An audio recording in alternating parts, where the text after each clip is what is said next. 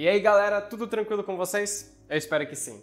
Já faz um tempo que a gente não traz overviews de gabinetes da NZXT e quando eu digo um tempo, é coisa de anos mesmo. Então, para a gente dar uma renovada em algumas opções da marca que já trouxemos aqui no canal, hoje vamos dar uma olhada no NZXT H510 sendo uma das opções mais em conta da marca que a gente encontra no nosso mercado. Mas antes de começar, caso você seja novo por aqui, não se esqueça de se inscrever aqui no canal porque a gente traz conteúdo sobre tecnologia de forma direta e simplificada toda segunda, quarta e sexta-feira. E para o pessoal que quer ficar atualizado, aos domingos temos o Pipoca News com as notícias mais relevantes da semana no mundo da tecnologia.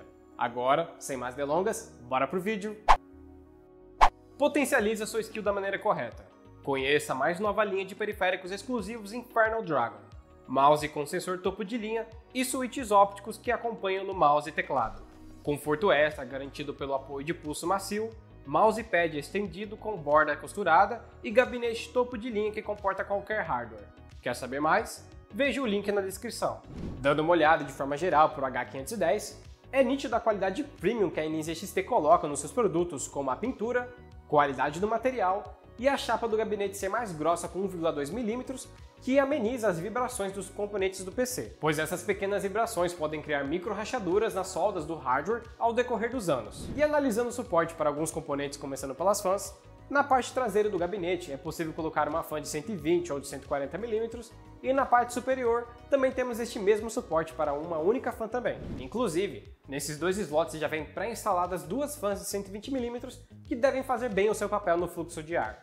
Além disso, para a gente ter uma ideia mais ou menos de como vai ser o desempenho dessas fãs, vou adicionar mais alguns testes que irei explicar melhor depois que a gente passar por todos os detalhes deste gabinete. E finalizando a parte traseira do H510, temos os 7 slots de expansão padrões dos Mid Towers, mas no caso deste gabinete aqui, eles são reutilizáveis. Outro detalhe diferente dele é a sua tampa frontal, que é fixa com um design fechado que possui duas aberturas para o fluxo de ar, uma na parte lateral e outra na inferior, sendo que as duas possuem filtro de poeira removível de boa qualidade. Além disso, nas suas tampas laterais, encontramos os parafusos de dedos, que são aqueles que ficam presos às tampas, e do lado do vidro temperado, temos apenas um parafuso para fixação, com duas bolinhas de borracha que seguram o vidro também. Agora na parte superior, com as conexões do painel frontal, temos um plug P3, que é aquele que faz tanto papel de entrada e saída de áudio, power e duas portas USB, uma 3.2 normal e a outra do tipo C. Mas antes de se preocupar com a questão da porta P3 para o áudio, fique tranquilo que a NZXT adiciona um splitter para as conexões P2 nos acessórios. Inclusive, Caso você queira saber mais sobre as diferenças das conexões dos headsets, seja lá P2, P3 e USB, é só clicar no card aqui em cima. E uma observação importante, caso você queira desfrutar da conexão USB-C, é necessário verificar se sua placa-mãe tem esse tipo de suporte, já que é um plug que encontramos em opções mais topo de linha.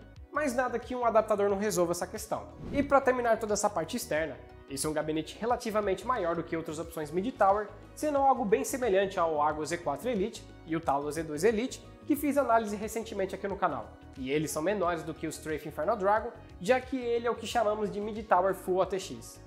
Agora, dando uma olhada na parte interna, começando com o suporte de placa-mãe, ele suporta modelos do tipo ATX, Micro ATX e Mini TX. E nessa parte eu queria dar um ponto positivo para a NZXT, já que ela adiciona no conjunto de acessórios um suporte para fixar os espaçadores na placa-mãe com o uso de uma chave Phillips, que pode ser uma mão na roda na instalação. Além disso, outros acessórios que acompanham com o gabinete são alguns parafusos, várias presilhas de nylon e um extensor das conexões do gabinete. Agora, pulando para a questão de refrigeração, começando com os air coolers, temos uma folga de 165mm para o heatsink, que com certeza vai comportar várias opções que encontramos no mercado. E para os water coolers, é possível optar por opções de 240 ou 280mm na parte da frente e de 120mm na parte traseira. Mas caso você for completar o airflow do gabinete com apenas as ventoinhas, é possível colocar duas fãs na parte frontal com modelos de 120 ou de 140mm. E dando uma atenção para a placa de vídeo no gabinete, a dimensão máxima de seu suporte é de 381mm, que deixa uma folga muito tranquila para nossa 5700 XT Red Devil já que ela é consideravelmente uma placa grande com 300mm de comprimento. Agora, indo para a parte de trás, o H510 entrega um bom espaço para a gente dar aquela organizada nos cabos, com destaque para as várias guias que vão ser de grande ajuda na hora de fazer aquele cable management e é possível removê-las caso desejar. Outra coisa que ajuda também a esconder um pouco os cabos é a faixa em vermelho com a logo da NZXT, que tem outro propósito também, que é disponibilizar suporte para reservatórios de water cooler custom com até 150mm de altura. E na questão do armazenamento, temos uma gaiola ajustável e removível, sendo algo bem bacana caso precise de mais espaço para os cabos da fonte e ele suporta até 3 HDs de 3,5 polegadas. Além disso, temos mais dois suportes para SSD SATA ou HD de notebook, que é possível fixá-los nos pequenos furos que encontramos no PSU Cover, disponibilizando mais versatilidade na hora de organizar o setup. E na questão das fontes, ele disponibiliza suporte a opções ATX e traz um excelente espaço para os cabos e um filtro de poeira de fácil remoção no estilo gaveta. Agora que já vimos aqui os detalhes do H510, vamos para os testes e ver o desempenho dessa belezura aqui. Mas antes da gente começar, quero relembrar que usamos o pad térmico Carbonaut da Thermal Grizzly, ao invés de pasta térmica para termos um teste mais fiel para os diferentes gabinetes. E nos softwares, usamos o Cinebench R23 para estressar a CPU e o 3D Mark Firestrike para GPU e SSD, e que vamos utilizar três configurações para os testes. A primeira é utilizando apenas as fãs pré-instaladas que acompanham com o produto, servindo como exaustores, para a gente ver se o desempenho deles refletem a qualidade do gabinete. O segundo é adicionando mais duas fãs F009 da Redragon na parte frontal como entrada de ar e a traseira e superior como exaustores, completando todos os slots de ventoinhas do gabinete. E o último é utilizando apenas as fãs da Redragon com o modelo que citei agora há pouco, com a mesma configuração do fluxo de ar, para a gente ter uma comparação das ventoinhas pré-instaladas. Então, o nosso primeiro teste com a CPU simulando a frequência boost de nosso processador com 4.2 GHz e 1.24 de voltagem, obtivemos os seguintes resultados. Usando apenas as fãs pré-instaladas, tivemos a temperatura máxima de 66 graus. Em seguida, no próximo cenário, adicionando mais duas fãs na parte da frente, houve uma pequena redução tendo máxima de 65 graus. E na nossa última configuração, atingimos a temperatura máxima de 68 graus, mostrando que as fãs pré-instaladas fazem um ótimo serviço no fluxo de ar do gabinete.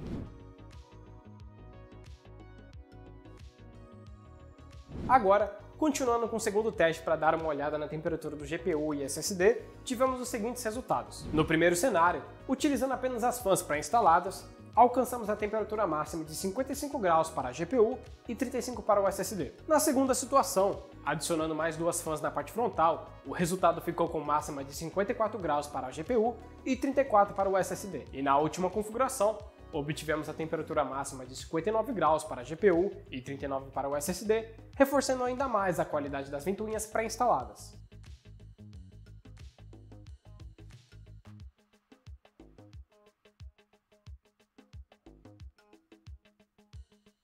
Agora com a questão do ruído, no nosso primeiro cenário, utilizando apenas as fãs pré-instaladas, obtivemos a média de 49 decibéis. E quero lembrar que a gente deixou o decibelímetro com uma distância de 30 centímetros do gabinete, com todas as fãs em 100% e que a gente deixa o gabinete totalmente fechado. E na segunda configuração, adicionando mais duas fãs na parte da frente, não houve um aumento significativo no ruído, se mantendo novamente na média dos 49 decibéis também. Já no último cenário, houve uma pequena redução no ruído, atingindo a média de mais ou menos 48 decibéis, mostrando que é um gabinete que isola bem o barulho, graças ao seu design com poucas aberturas.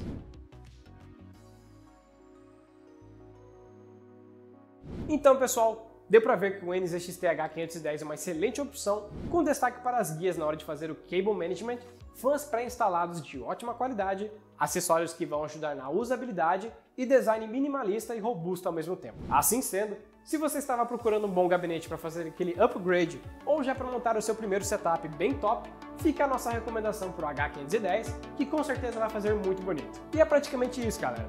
Agora eu vou deixar vocês com o meu cordial adeus. Não se esqueçam de deixar o like se inscrever no canal clicando na bolinha aqui no canto. E claro, deixe um comentário para interagir com a gente. Vejo vocês no próximo vídeo e até mais!